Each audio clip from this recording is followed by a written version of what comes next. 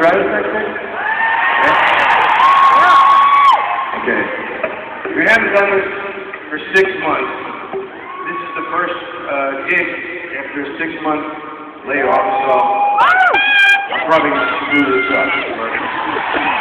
At least if we screw it up, you'll know it's an authentic rock and roll fuck-up.